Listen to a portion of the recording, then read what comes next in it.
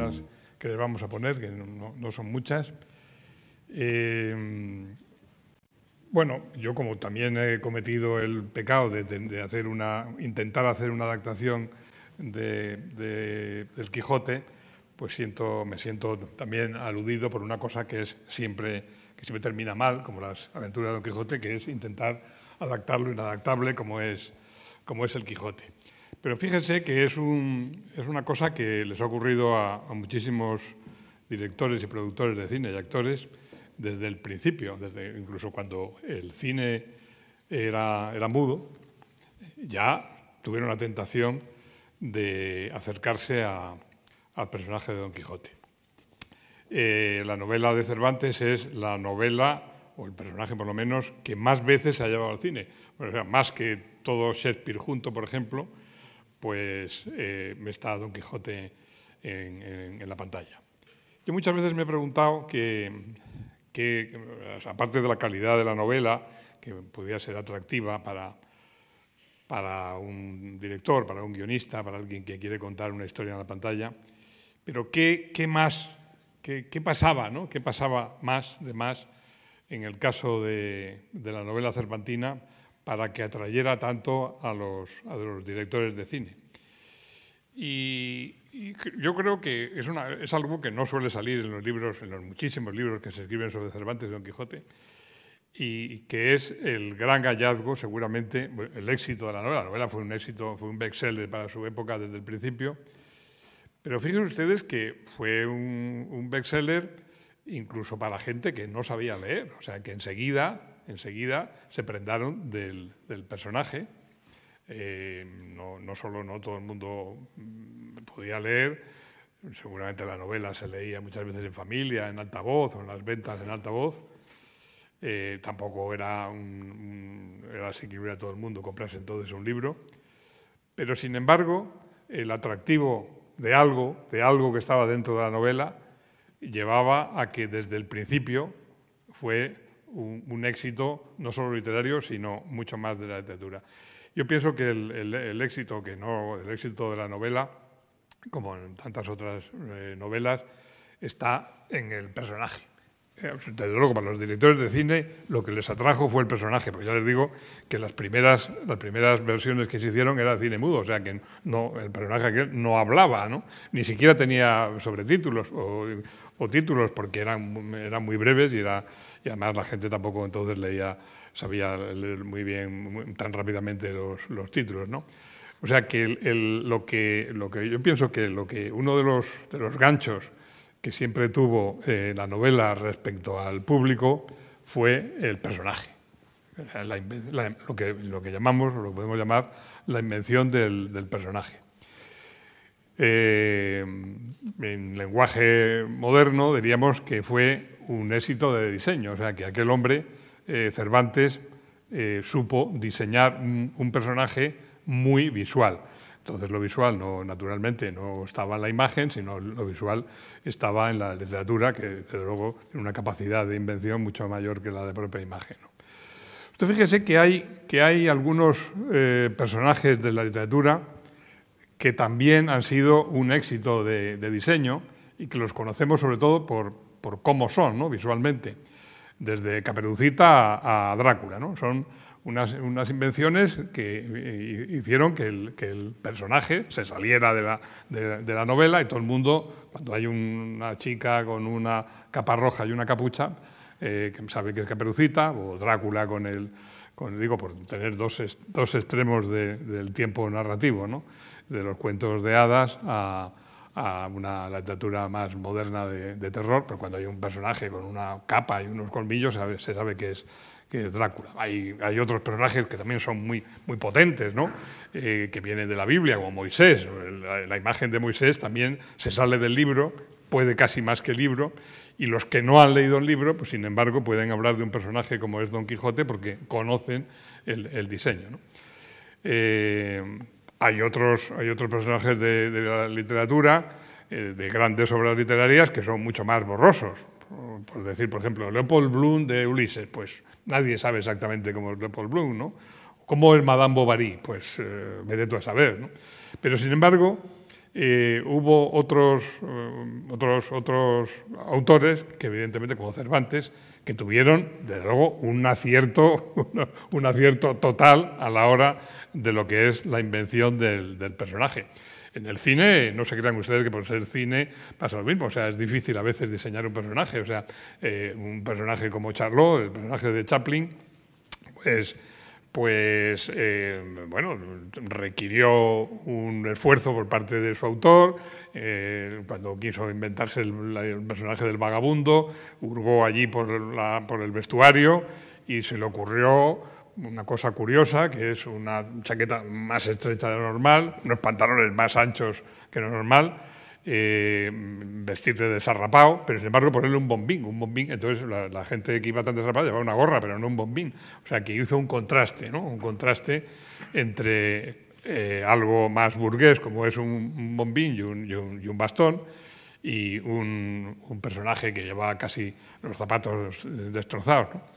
Y, Don Quijote, tanto, digo, Cervantes, tanto tiempo antes, tanto, tanto tiempo antes, también hizo un, invento que, estaba basado en los contrastes, ¿no? Un, hombre huesudo que llevaba una lanza antigua, pero que iba coronado con, una vacía de barbero, pues evidentemente también era un, diseño muy, muy, muy atractivo para los que leían o los que oían hablar eh, la novela. Eh, es curioso que una cosa que ahora vemos tan, clara, sin embargo, en los, siempre que se habla del Quijote, no se hable, no no se hable de que atractivos de la novela, de la, de la, de la literatura, que es lo, más importante, sin embargo, está en la visualización de ese, de ese, de ese personaje, ¿no? que evidentemente fue, un, un, un, hallazgo. Eh, evidentemente, cuando se, se, lleva o se intenta llevar la novela al cine, pues es mucho más importante el pozo literario, el lenguaje. Eh, como decía antes, eh, Soledad, eh, una de las cosas que evidentemente en su época era atractivo del libro es que era, el libro era muy gracioso, pero como se llama Soledad antes, a ella, por ejemplo, y a, nosotros ya no nos parece tan gracioso que apalen a un señor mayor cada, cada poco tiempo y que le salten las muelas. Eh, pero, pero, pero una de las cosas que tenía de, gracioso era el lenguaje. El lenguaje que a un, a, un, a un lector moderno, sobre todo cuando eras niño y te obligaban a leer el Quijote, pues tampoco tú no le, no le veías mucho la gracia al lenguaje porque uno de los resortes de, de la gracia de las novelas está que Don Quijote hablaba en un lenguaje muy antiguo, ya entonces, en la época de, que se publicó el Quijote, ya no se decía fermoso, ni fermosura, ni fecho, se decía hermosura, se decía hecho, pero él hablaba un lenguaje antiguo y, sin embargo, Sancho y los demás hablaban el lenguaje eh, contemporáneo, el lenguaje moderno de, la época. ¿no? Y curiosamente, en el cine, por lo menos cuando hemos intentado, en mi caso, llevar al, cine la, la novela, que siempre es un fracaso como la propia, porque siempre te puede, siempre te puede la novela, eh, pero es curioso que el cine sí puede a veces resucitar eh, lo que un lector no avezado eh, ya pierde, sobre todo cuando eras niño y te obligan a leer, un, lector no avezado no, no, no, coge tanto en la, en la novela cuando la lee ahora, ¿no? que es el, el, contraste, una vez más, el contraste del lenguaje entre lo que habla Don Quijote y lo que hablan los demás. Pero en el cine sí se puede, ¿no? porque Tú puedes hacer que Don Quijote eh, diga todas aquellas cosas de, la razón, de la sin razón, que a mi razón se face, de tal manera mi razón enflaquece, que de, esa manera de, de, vuestra hermosura, eh, y sin embargo los otros, los otros actores hablen un lenguaje más llano, ¿no? O sea que se puede de alguna manera recuperar lo que era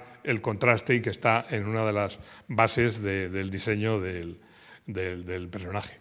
Eh, cuando se hace un, una adaptación de una novela tan importante, yo les puedo asegurar, como, como, en fin, como, los intentos que hemos hecho varios, tanta gente al acercarse a la novela y llevarla al cine, que uno de los problemas que hay, quizá el problema mm, eh, decisivo, cuando llevas una novela como, pues como El Quijote o como Ana Karenina o como Adam Bovary, que hemos dicho antes, es, está no tanto en cómo se hace, cómo se hace, porque al fin y al cabo la literatura y el cine tienen estrategias narrativas parecidas, ¿no? es pues, pues, una serie de sucesos que te distraigan y te emocionen y que, y que terminen de alguna manera que dé sentido a todo el relato. ¿no? O sea que las estrategias narrativas tampoco son tan diferentes. el gran problema de adaptar una, novela conocida, famosa y enorme como es El Quijote está en qué se coge, que, se, que, se, mete en la película y que, y que se deja. Porque siempre que dejas algo, pues te cargas una parte de la, de la novela. Eso, y una cosa que ahora veremos, en lo que le voy a señalar a continuación, que es la elección del actor. Eh, la lo que es cómo habla uno y cómo habla otro, eh, yo por lo menos me llevé una sorpresa muy agradable cuando, cuando fue Cela el que hizo los guiones, pero cuando lo intentamos hacer, una, una sorpresa muy agradable es que eh, a pesar de, la, que el Quijote es una cosa tan importante y, y literariamente, digamos, tan, eh, no sé, con, con, con, todo el peso que tiene en la historia de la literatura y en, y nuestra, en nuestra historia eh, española. Sin embargo, aquel hombre, Cervantes, tenía muy había sido eh, autor teatral y tenía muy buen oído para los diálogos. O sea, que los diálogos no eran tan difíciles de adaptar para un, para un actor porque se decían bien. No pasa así con muchas novelas modernas, ¿eh? no, se, no adaptan tan bien como una novela tan antigua como El Quijote. El Quijote es, mm, mm, tiene mucho sentido del, cine, del cine aunque no lo parezca, es mucho más difícil adaptar a Javier María, por, decir algo. Eh, pero aquel hombre, en, es, lo que es el diálogo, lo manejaba estupendamente. Sin embargo, había un... Lo que chocamos todos es en la elección, aparte que eso que le digo, que se, que, que se coge y que se deja de una novela famosa, es la elección del actor. El actor es decisivo porque como la novela es sobre todo, eh, al llevarla al cine, un personaje, o dos personajes como es Don Quijote y Sancho, pues evidentemente el gran problema siempre es qué actor es capaz de hacer un personaje de esa valía y de, la, importancia que tiene, que tiene en, la, novela. Eh, yo les he traído a ustedes aquí unos ejemplos que duran unos 20 minutos de distintas películas que son distintas maneras de acercarse a Don Quijote. El Quijote, siempre le digo a la gente, a mis sobrinos y cosas así, que, que no, no siempre les da mucho respeto empezar la novela, que la novela se puede empezar por cualquier sitio, la novela, la, novela tiene muchas puertas y puede uno abrir el, al azar y entra y se lo pasa tan ricamente. ¿no? Eh, con, el, con el Quijote, pero, pero los directores de cine, evidentemente, pues lo que les pasa lo mismo y es que cada uno ha tenido su punto de vista distinto sobre, sobre la novela, como van ustedes a ver dentro de cinco minutos. Eh, la, empiezo con mi propia adaptación. Eh, lo, que les voy a enseñar es un poco la evolución de Don Quijote a lo largo de la, distintos de la, novela. Eh, el, segundo, la primera, lo primero que les enseño es el, Quijote que yo hice para televisión con, con, con Fernando Rey, que evidentemente fue un, un, buen, un buen actor para hacer Don Quijote. Luego lo que sigue es un Quijote que hizo Escaparro, eh, que tiene una cosa curiosa, nosotros vamos a ver solo lo que es la película, pero era, era un Quijote multidisciplinar, porque lo hizo para la televisión, lo hizo para el teatro y lo hizo eh, para el cine. O sea que lo que ustedes ven lo hizo antes en teatro, eh, luego se pasó a televisión y tuvo muchísimas, muchísimas versiones. Eh, lo pasaron en, en, el festival más importante de teatro en Francia, lo pasaron luego en Roma, se estrenó en Nueva York y unas veces ponían la película y otras, otras ponían el, aquí, lo hizo Flotat en, el teatro eh, con eh, Flotar hacía de Quijote y Juan Echanove hacía del, Quijote, pero es un Quijote multidisciplinar, de aquí vemos solo la parte del cine. Eh, luego, como saben ustedes, se han hecho Quijotes también en, musicales. Está El hombre de la Mancha, que, hizo un, director, un buen director, como era Arthur Hiller, que lo hace Peter O'Toole, como Don Quijote, y Sofía Loren, que, que hace de, de, Dulcinea. Una de las cosas que nos preguntan siempre los directores cuando vamos a hacer el Quijote es, eh, bueno, muy bien, ¿quién hace Don Quijote? Ah, fulano, tal. ¿Y quién hace Dulcinea? Y siempre tienes que contestar lo mismo. Dulcinea no sale en la novela. Pero eso lo lleva muy mal. Cuando lo cuentas, lo cuentas a alguien, lo lleva muy mal. ¿Pero cómo no va a salir Dulcinea? Y tienen un poco de razón, porque claro, Dulcinea no sale en la trama, no sale. Bueno, en la primera parte, no, no, aparece, no, no aparece en la novela. Pero se la evoca tantas veces que la gente tiene un poco de razón. Dice, pero ¿cómo no va a salir en, una película Dulcinea? ¿no? Porque la tiene, porque al fin y al cabo son imágenes mentales y tan fuerte como el Quijote, pues tienes la imagen de Dulcinea, aunque Cervantes no la saque, entre comillas, no la saque en la novela, en la primera parte. Eh, bueno, pues aquí eh, yo no, pero, pero Arturo Giler sí, y saca a Sofía, nada menos que a Sofía Loren como, Dulcinea. Eh, hay, hay, luego un, musical que, hizo un director también importante y que mm, se lo traigo para, mostrarles a ustedes que con el Quijote se puede hacer un poco lo que, lo que se quiera. ¿no? las canciones eran de Michel Ley y hay una, una, canción que es Un mundo imaginario, algo así, que canta Plácido Domingo y canta mucha gente y que es lo que ha quedado de, la, de, la, de, la, de esa, versión. ¿no? Luego, entre los Quijotes españoles, tenemos a Don Quijote de la Mancha que hizo Rafael Gil, que yo vi muy de pequeño y me quedé absolutamente prendado. Luego le vi muchos años más tarde, me, pasó, me demasiado, me pareció demasiado académico, pero es el Quijote, uno de los Quijotes canónicos, digamos, en, español, ¿no? en, nuestro repertorio y que tiene un, buen, ahí pienso que el actor sí fue un acierto, que era Rafael Ribelles, que es un actor de teatro. Y le verán ustedes, lo poco que, que le van a ver, verán que sí, que evidentemente era demasiado teatral porque era sobre todo un actor de, de teatro. Hoy, resulta un, Quijote, el Rafael Gil, que, es del año 47, en España se hizo, se hizo haciendo un esfuerzo, eh, yo lo vi muy, muy de pequeño, se hizo, haciendo un esfuerzo de producción, pero hoy, hoy resulta un poco, un poco eh, engolado, ¿no? hoy casi se busca un Quijote un poco más, más libre, con, con nuevas interpretaciones. Eh, tenemos más, más Quijotes, eh, como saben ustedes, la novela es muy popular en Rusia y aunque eh, Paco Rico siempre dice que es popular, pero que es una novela para niños en Rusia. Pero bueno, es, popular, es popular el, Quijote de Grigory Kontsevsev, que es un Quijote muy, muy digno, que hizo mm, de, actor hizo Nikolai Cherkasov, que ya era una persona mayor entonces y que había hecho Iván el Terrible ¿no? con, con Stein y era un, era un, actor bueno, muy reverenciado en Rusia para hacer el personaje, pues evidentemente también más importante de, la literatura, pues lo hizo el actor más importante de, en, aquel, en aquel momento.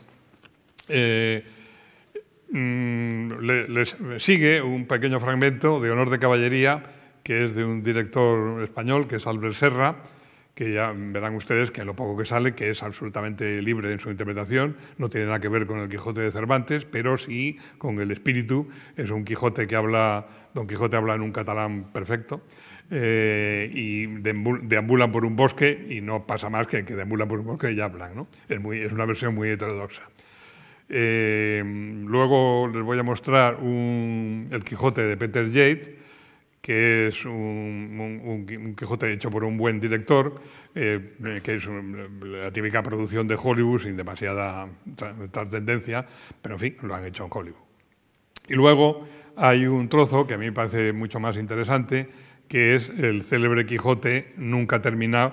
El Quijote en el cine yo creo que tiene una especie de maldición, ¿no? porque nunca se termina de redondear lo que quieres hacer. El Quijote de Orson Welles, que empezó en el año 55 y en el año 55, ¿eh? y en el año 85 todavía no lo había terminado, mm, rodaba trozos, rodaba por aquí, rodaba por allá, la película se le iba de las manos, se, se moría el actor, eh, empezó con Misha, con, con Misha Auer, que tenía mucha pinta de Don Quijote, con Akita Mirov, que hacía de, Sancho, que es un Sancho estupendo, eh, pero se murió. Y luego lo hizo con un actor estupendo, Francisco Reiguera. Francisco Reiguera es las pocas veces que eh, el director tiene la suerte de encontrar un actor que pareciendo mm, a Don Quijote, porque es muy chupado, eh, es, además buen actor, cosa que no ocurre siempre. ¿no?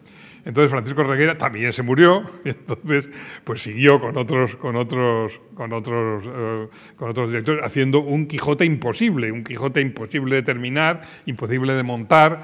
Eh, Ricardo Jesús Franco quiso hacer un montaje que no le gustaba nunca a nadie, con trozos de ese Quijote, pero sería, digamos, como la literatura al final vence, ¿no? como como, como, al final destroza cualquier intento que hace el cine por acercarse, quizás es una maldición por, por, querer hacer, por querer hacer el Quijote en el cine. Pero sí lo que queda de, Orson Welles, que quedan muchísimos trozos perdidos. Eh, Welles iba a veces a buscar lo que había hecho en Italia, pero no lo encontraba. Luego venía, venía a España, no, las cosas no pegaban entre sí. Eh, una especie de relato imposible, pero sin embargo lo que sí ha quedado, y si ustedes ven trozos, ha quedado una excelente reflexión sobre España. O sea que lo que, lo que se ha quedado no es el Quijote, pero sí, sí paisajes españoles, aunque muchos, algunos están rodados en México y por actores mexicanos, pero sí es una especie de, una especie de España imposible en una película imposible. Eh, Godard también se atrevió con el Quijote, eh, es una película muy poco conocida, que se llama, tiene un extraño nombre, ¿eh? Se llama Alemania año, año cero, 9-0. Eh, hace referencia un poco a la película de Resellini, que era Alemania año cero, y, este ha hecho un invento que es Alemania año 090, que, era, quiere decir el año en que, se, en que lo rodaba, que era 1990. Y no sé si ustedes conocen Alfabil, la película de, Godard, que es un referente cinéfilo, que lo, lo hacía Di Constantin, el personaje de Lemmy Caution. Bueno, pues aquí, que era un detective, pues aquí sale, sale Lemmy Caution haciendo un poco de, de, Don Quijote, ¿no? Eh, de Constantine.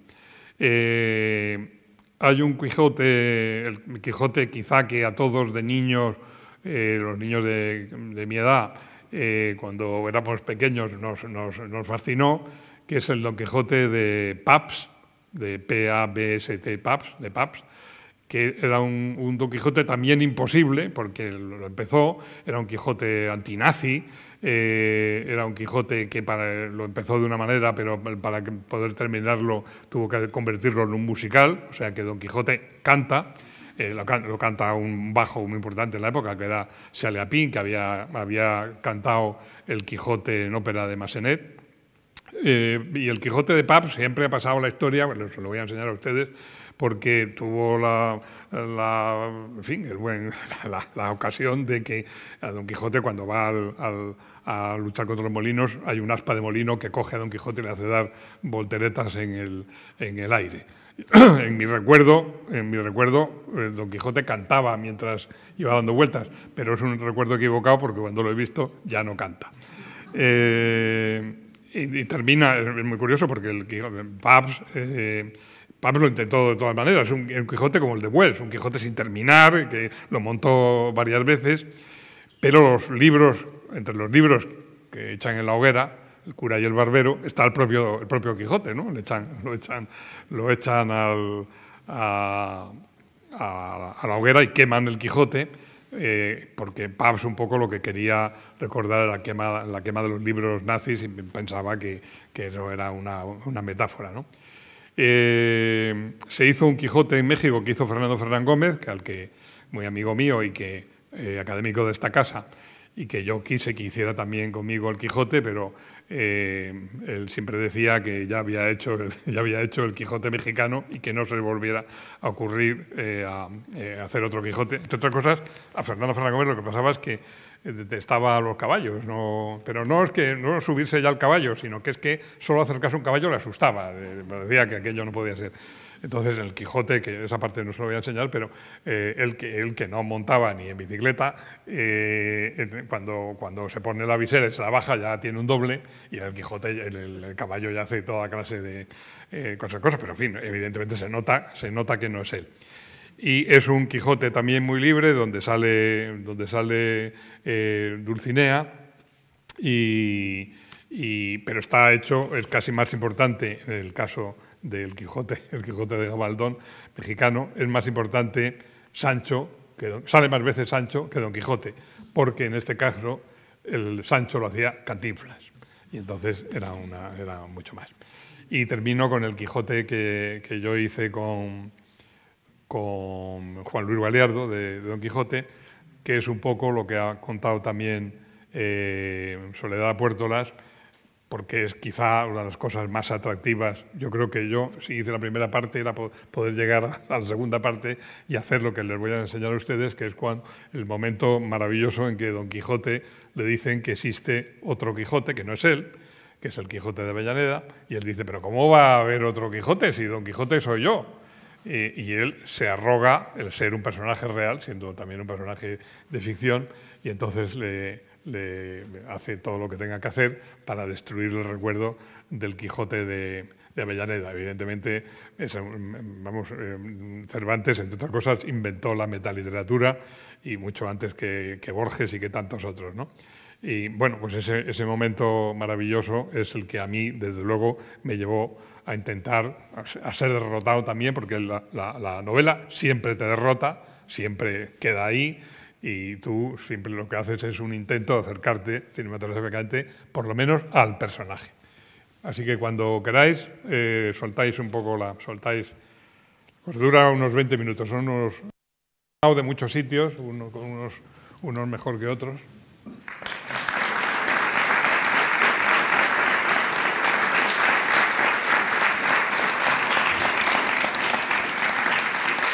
Si quieren, si quieren ustedes hacer alguna observación? Todavía tenemos eh, diez minutos que, eh, podemos.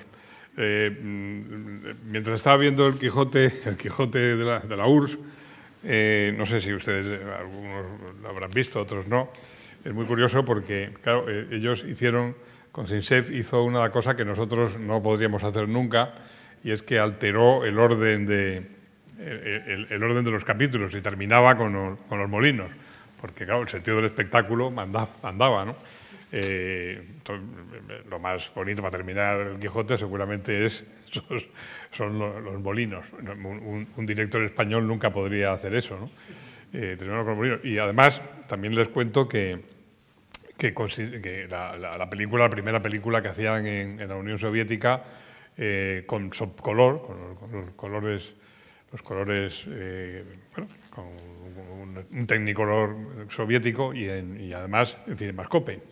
Entonces era, todo eso se había preparado para hacer la película, una película sobre Stalin, que, hacía, que iba a hacer el propio director, con Konsinsev. Pero como llegó Khrushchev y empezó la, eh, a desestalinizar, entonces dijeron, ¿y ahora qué hacemos, qué hacemos, con, qué hacemos con, con el subcolor? ¿Qué hacemos con las lentes de, con las lentes de cinemascope, ¿no? Pues que, porque está todo preparado para hacer una película importante. Dijeron, ah, pues el Quijote, que ya que no, tenemos a Stalin, pues tenemos a Don Quijote, que también es muy propio para el cinemascope. Y entonces es, una, es una película que a mí, en fin, siempre me gustó. Fue la primera película soviética que llegó a España después de la guerra. Eh, llegó en los años, ya casi en los años 60, y fue una película permitida eh, aunque venía de, la Rusia eh, soviética. Y es muy curioso porque, porque, por ejemplo, el tratamiento, el tratamiento a los duques y todo eso es un tratamiento un poco de mm, estilo, todo es estilo greco, pero además muy, muy, muy marxista, o sea, muy, muy, de, muy reivindicación de, eh, de clase. Pero no quedaba, mal de, no quedaba mal del todo en la historia, a pesar de que estaba alterado el orden de los capítulos y todo. ¿no? Eh, claro, lo, que más conoce la gente siempre es el episodio de los molinos, por eso, por eso muchas veces eh, si no hay molinos no hay Quijote. ¿no? Y es curioso porque cuando yo me enfrenté al propio capítulo de los molinos, yo les aseguro que es un poco difícil, primero porque, claro, cuando Cervantes inventó aquel capítulo, no sabía que nadie lo iba a llevar al cine. Y es realmente muy difícil que, que alguien, que alguien invista unas aspas de molino porque no están a la altura, están más altas de lo, normal, incluso para un caballero andante. ¿no? Eh, pero bueno, siempre me acuerdo que el producto, y además es, muy, es, un, es un capítulo muy pequeño y no, vamos, corto, y que, pero sin embargo ha quedado, ¿no? Ha quedado como un emblema de, de pero no, no, siempre se corresponden los emblemas visuales con la, con la importancia literaria del capítulo que no es de los más importantes, pero sin embargo es el más, el más visual. El, mi productor de, siempre decía, tú Manolo hazlo bien hasta los, hasta los molinos, porque más en los molinos nadie ha leído nada, o sea que no... Eh, bueno, estas son las cosas que pasan, que, pasan con, los, con los Quijotes. Como ven ustedes, eh, se presta un poco, se presta para todos. También es verdad, por eso, bueno, yo no he preparado esto, lo ha preparado un historiador del cine, que es Carlos Fernández Heredero. Antes se me ha olvidado decírselo, que yo no soy el autor de, la elección de, los, de los... Se calcula que hay unas, una, entre una película y otra, que hay casi mil versiones entre televisión y no televisión. Hay un Quijote porno.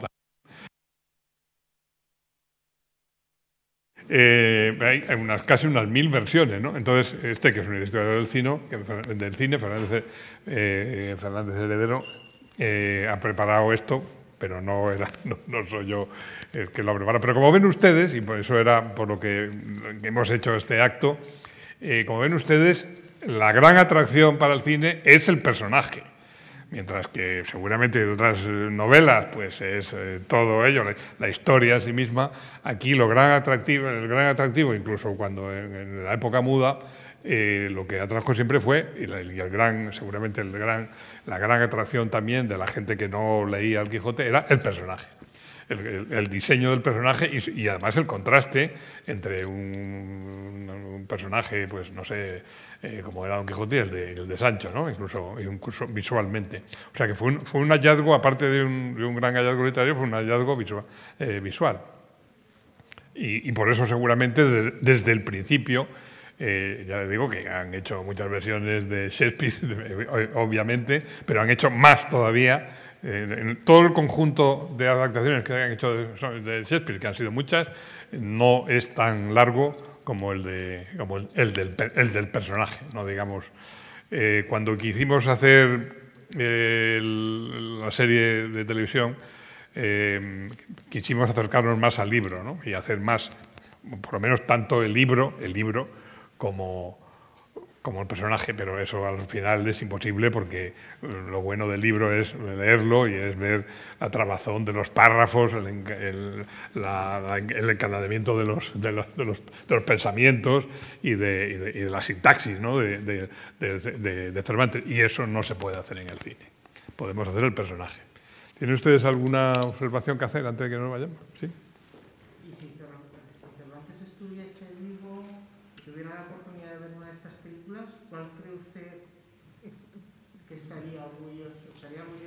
Pues habría pensado lo mismo que pensó con el Quijote, y, a mí no me han pagado por esto. seguro que lo primero que pensaba. Porque realmente después de hacer un éxito, como no había derechos de autor entonces, el gran drama de Cervantes siempre fue que, no, que, tenía éxito, pero no le pagaba. Cervantes llegó tarde a todo, por eso quizás seguramente eh, estaba tan cerca de... Él, fue un hombre que mientras Lope de Vega tenía éxito y, Góngora tenía, aunque no fuera un éxito comercial como el, de, del teatro, también era, él era era un poeta ya mayor, eh, cuando los demás eran, eran, escritores de éxito. ¿no? Y a él, eh, eh, es que el Quijote le llegó muy tarde, llegó muy tarde, cuando ya su vida estaba prácticamente acabada. ¿no? es lo mismo que me decía Fernando Rey cuando hicimos cuando hicimos la, serie, que es muy curioso porque cuando íbamos a rodar el personaje popular era era eh, Alfredo Holanda, no él, y él siempre decía, es que a mí, cuando yo empecé con Buñuel, empecé muy tarde, todo me llega tarde, y luego él tuvo mucho éxito popular con esta serie, porque fue una serie que vieron 7 millones de espectadores, de telespectadores. Y siempre me decía, Manolo, a mí todo me llega tarde, pues también a Cervantes le llegaban tarde las cosas. ¿Alguna observación más? No, pues nada, pues muchas gracias, hasta la próxima.